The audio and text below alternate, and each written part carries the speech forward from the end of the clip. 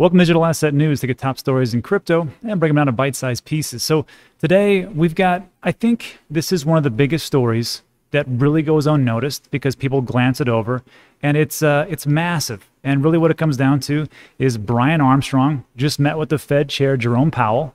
And he says US needs to be a major crypto player to stay relevant. And he talks about a lot of different things, one of those being the digital yuan. And he talks about how it is a threat to national security. So we'll take a look at what he says there. Also, we're going to take a look at how the Bitcoin mining difficulty dropped 28%, which is the largest drop ever. And on top of that, we'll take a look at some. Uh, a little bit of pain that is coming up as far as the Grayscale Bitcoin Trust being unlocked. And on top of that, that's going to go in conjunction with uh, what uh, CEO of Celsius, Alex Mashinsky, said as he gives his price prediction. And he talks about a couple of pain points one of those being the unlock part of Grayscale, and gives his price prediction for Bitcoin. So we'll go over all those things. And finally, uh, at the very end, after the end of this premiere, just so you know, we're going to have a live uh, viewing of uh, what I call the final predictions with my friend Jerry Hall. So after this premiere, stop on over on the uh, on the live stream, and we're going to go over all the different uh, predictions that we have, and then the new ones that are uh, put into my uh, portfolio that I picked up uh, lately, and we'll go over everything that I have in my portfolio. So that'll be after this live premiere. But first, let's take a look at what's going on in the market. So right now it is the 4th of July. Great day for Americans. There's nothing really going on for me right now. Just waiting to go to a cookout. So I'll do that later tonight and then watch some fireworks and all that stuff. And probably uh, eat a little bit too much and uh, maybe drink a little bit too much. But uh, hey, America. So anyhow, uh, the market cap today, it's looking good. Usually we have a Sunday dump, but it seems like after everything that happened with China, we don't see too many of those Sunday dumps and those Asian markets just, you know, poo pooing all over the place. And uh, like, I hope it continues, but it seems like Sunday isn't the dump day. It seems like sometimes it's like a Monday or Tuesday. But uh, we're at $1.48 trillion. That's pretty good. And then uh, Bitcoin price is about 35,000. And over the last 24 hours, I mean, we've seen some pretty good numbers. Uh, anything fantastic? Let me blow this up so you can see it on the C. Uh, 24 hours, yeah, Bitcoin 5%, 3% for XRP. Watch out. XRP 3.9, 11% for Uniswap. Man, on a massive tear. Good for that. Three point. So look, everything's up primarily, and that's great. We'll see if it holds up. But uh, I'm not a big day-to-day person. I'm more really about long term. And this story that we're going to talk about right now, uh, this one, the Coinbase and the Fed, this is probably the biggest story out there. And I know people just glance over because it's regulation. Nobody cares about regulation because it's boring. But let me tell you right now, this is what's going to shape this entire industry, entire cryptos and digital assets. This is where things are made or broken. And if we get this right, uh, it could be moonshot for a, lot of different things. It was the same thing with the internet. They got regulation with the internet correct, which was a little bit of regulation and mostly hands off. And if they don't screw this up, America, we could see some great things. So, uh, Brian Armstrong, I got to tell you, uh, haven't been a fan of him and Coinbase, as you know, on this channel, but uh, he has made some great points. And uh, the enemy of my enemy is my friend. So, uh, Brian Armstrong meets with Fed Chair Jerome Powell. Not that Jerome's an enemy, he's just Fed Chairman. What are you going to do? Anyhow, this meeting's details are unclear, but most of the discussions revolved around the construction of an American central bank digital currency, a CBDC, in countries that are already ahead of the game. China. China is crushing it right now with that digital yuan. They've already rolled it out. They've already had some big things happen. Uh, they've actually put it into the hands of commerce, uh, industry, and they're going to uh, beat the tar out of everybody because they've got it going on. There's not a great thing about it. Uh, I mean, it's it can really do some damage as far as like the world economy. You could see uh, the U.S. dollar being overtaken as the world reserve currency. You may laugh now, but uh, in this article, it's been talked about to a lot of heads of state. So anyhow, uh, Brian here has uh, met with a couple of uh, high-ranking people. Uh, one of those, you've got Nancy Pelosi, uh, you've got uh, Ryan here. Ah, he used to be a, a, big congressman. I think he was head of head of Congress for a little bit, and uh, probably just took a nice little job in the private industry. So he's mover and a shaker. And this is what happened. Brian states, "I spent most of this week in DC, meeting with members of Congress and heads of various federal agencies. The goal was to establish relationships and help answer questions about crypto and to see what we can do to help the US get more regulatory clarity in this space as part of the newly formed Crypto Council for Innovation. He goes on to further talk about crypto is as important as the birth of the internet in terms of jobs, GDP growth, and innovation it can create. The US will need to be a major player in crypto to stay relevant long term. And I got to tell you, this is a perfect way to phrase it to Congress because if you just go in there and just talk about, we're going to make a lot of money and it's going to be great, uh, they're like, we don't care. But if you start to say this is a national security issue, and if you guys don't get on board, you're going to see all the different other countries just pass us by. So we need to take the bull by the horns now or get left behind. And we saw that as we leapfrogged everybody after World War II, and we just caught up with everything, became the world reserve currency, and we became a national or a global dominant force. If you want to lose that, here's one of the ways you do it. And that will make Congress and people in power sit up and go, hmm, maybe we should look into this. I personally believe that there's a couple of things that's going to lead to global domination. One of those is uh, artificial intelligence. Uh, the next one is, of course, commerce. The third one is blockchain, crypto, and digital assets. So, to finish this up, Armstrong says legal uncertainty is a major problem. And I have to 100% agree with Brian Armstrong on this. And I know people are shouting at their screens and now saying, crypto doesn't need any regulation. Let's just keep going. Forget everybody. We don't need anybody. We'll just get there on our own. That's true if you want to wait 50 years, 30 years, or something like that.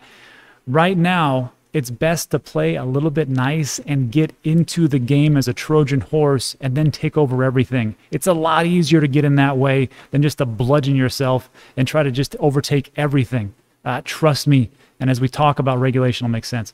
Armstrong further said that he thinks China's digital yuan advances could be a threat to the US dollar. Absolutely. I mean, look, if you got a digital yuan, the CBDC, I think a lot of people could could uh, uh, pick it up. I don't think Americans will. Are you out of your mind? Do you think digital yuan? Look, America banned TikTok for a little bit uh, because they didn't like what was going on with uh, the industry as far as uh, telecommunications and what was going on with these whatever was in uh, the program itself. So, do you really think they're going to do a lot of things with uh, their digital yuan and, and monetary policy? Yeah, right. But other countries could, and that could be a problem. He says, it is real, digital yuan. They are moving quickly, and I believe it represents a threat to U.S. reserve currency status. Let me say that again.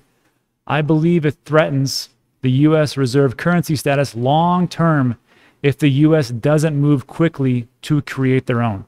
The CEO of Coinbase stressed that the bureaucrats and agency heads he met with were all thoughtful and committed individuals, and some cryptos might be securities, as you know, as uh, regulated by the SEC. Some are commodities and should be regulated by the CFTC, and, and some are currencies or property and should be regulated by the Treasury or the IRS, and some are none of the above. And this is really what it comes down to. This means fewer startups who are able to brave the legal uncertainty, uh, they're going to be the ones that are going to be caught in the crosshairs. Some of them wind up founding their companies abroad or not at all. That's a major problem. And that really what is what it comes down to regulatory clarity. If you're a startup industry, why would you start anything in America as far as crypto and digital assets, you're going to go to Singapore. You're going to go to the EU. Well, not UK. You're going to go to a lot of different places because in America, you can't even do a private sale for these digital assets. Why would you do that? And on top of that, let's say you do launch something and then you get hit with like a billion dollar fine by the SEC like EOS, but you're not EOS and you're just starting up. Good luck covering that expense. Now you just got crushed. So all the people that say we want to do something in crypto and blockchain, we got this great idea, it could lead to innovation, it could lead to jobs, it could lead to national security, whatever. They're not doing that here. They're going someplace else. So just like we see with Wyoming, just like we see with Texas, and just like we see with Florida, as they open things up to the crypto and digital asset market, people start flooding in, jobs start being created, and a lot of different things that are supposed to be done actually get done. Just let the free market work. This, I believe, I I don't really care so much about the short-term stuff. TA is great if you're looking at a very small, finite amount of time. but for the longevity of this entire industry, it all starts with regulation. If we screw this up, it's going to take a heck of a lot longer, a heck of a lot more money, heck of a lot more time to get where we want to go. This is super important. And because of that, just because of that, I'll reach out to any senator or congressman that uh, I can just to get this this going. It's also one of the reasons why I'm going to follow Brian Armstrong on Twitter because again, the enemy of my enemy is my friend. And Brian Armstrong, I think, is doing a pretty great job. Now, if he could just drop those fees on Coinbase and then maybe get some more customer support, I'd love them to death. But that is what it is. Let me know what you think in the comment section, but I truly believe this is the biggest issue we're facing right now. All right, so that is that piece. Let's move on to just a little quick one. So the Bitcoin mining difficulty dropped 28%. And uh, this, just as we've, uh, let me come over here, just as we've seen it before, the Bitcoin difficulty, uh, the reason why it dropped, well, on-chain market analysis, Glassnode, there was a 28% decline, biggest adjustment in the history for Bitcoin. Bitcoin's total hash rate at roughly 86 terahashes. Our total hash rate is now at a 19 month low. Or they might say, some might say it's not terahashes, it's exahashes, whatever. It went down 28%. That's all I care about. So why is that? And the rest of this is kind of boring. So I'll just sum it up like this. With all the Bitcoin miners that are in China, they shut down all their rigs and they are moving it over. The thing is, and we've talked to a couple of different CEOs of uh, Bitcoin mining companies, they can't just start right up away. It has to be built with infrastructure. And uh, uh, one of them uh, told us that uh, they said, hey, if you want to start this up, we're looking at 2023 for you guys to come over here, get the infrastructure in place, get all the electricity, get all the things that you need, and set it up correctly. And they're like, huh?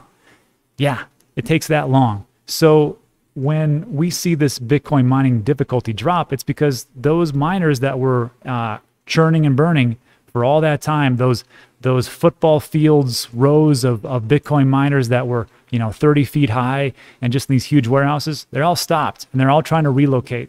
And they should have done their due diligence. They should have done their own research and said, look, I, maybe China isn't a great place to do this. Maybe we should get out of here a little bit quicker. And they didn't. And now I mean, good luck. They can they can move to uh, Kazakhstan, Kazakhstan. I think I said it right. Uh, but they even just uh, put a law in that uh, is raising electricity specifically for Bitcoin miners. Again, we won't do that here. Come on down to Texas. We love you. We'd love to have you. Wyoming, love to have you too. Florida, same thing. Maryland, love to have you. So uh, just come over to America. It's great here. All right, so let me know what you think about that in the comment section. But uh, yeah, as those Bitcoin miners uh, drop off, the difficulty drops. You're down, I mean, almost a third. And uh, of course, it's a lot less difficult for these home miners to do everything. And that's just the difficulty level. So great, I'm happy. And guess what? Network is still secure. I'll take it. Better than having it all in China. Just my two cents. Speaking of which, well, I guess not speaking of which, our next piece, the grayscale unlock. And this was actually sent to me from First Coast Crypto. First Coast Crypto, thank you so much. I uh, have to follow you for this. Thanks. So, what this is, is that uh, the Grayscale Bitcoin Trust, as you know, people are not like us, right? Some people all they want to do is they say we don't want to deal with exchanges or do, deal OTC or whatever else. We just want to pay somebody like the traditional way, and then for them to invest us into Bitcoin or Ethereum or whatever kind of trust that you have, and then you guys custody it. We don't want to deal with it. We don't lose it, and then if it appreciates, great, and we'll cash out later, or you know you can give us the Bitcoin, and uh, that's what's happening. So at, after so much time frame, whether that be six months, eight months, twelve months 18 months, there is a unlock period where that Bitcoin that the people have actually given their money into for the trust, now they can sell all that Bitcoin. So just so you know, this is potentially, and this may be priced in, I'm not for sure, uh, but look around these dates. This is when about whoosh, 4,000, 10,000, eh, 6,000, up to 16,000 in one day. And that looks to be about 18 July uh, all the way to 27 of July. There's going to be an unlock period when all these people are going to be able to get their Bitcoin and sell off massively. And if they got it before, uh, you know, a while ago and it wasn't worth too much and now it's worth 35, 40,000, probably going to sell. So just so you know, just like I've talked about before, July is not going to be a great month for crypto, and nothing's going to really happen until August. Ethereum will go up because of EIP 1559, and uh, that'll happen in mid-July. But after that, I don't see a lot of things happening. I think it'll just go sideways. And for me, I just dollar cost average. This is a great accumulation time, and it's where I make most of my money. Not when it goes up and it's all exciting. Uh, that's for rookies. I just invest when it's boring, and uh, that's it. And I'll sell later. So just be aware that's about what's going to happen. And this one was interesting because right after I saw that, I saw this from Alex Mashinsky, the CEO of Celsius, and he gave a nice price prediction. And he says, uh, We have seen two capitulation selling events for Bitcoin in the past two months.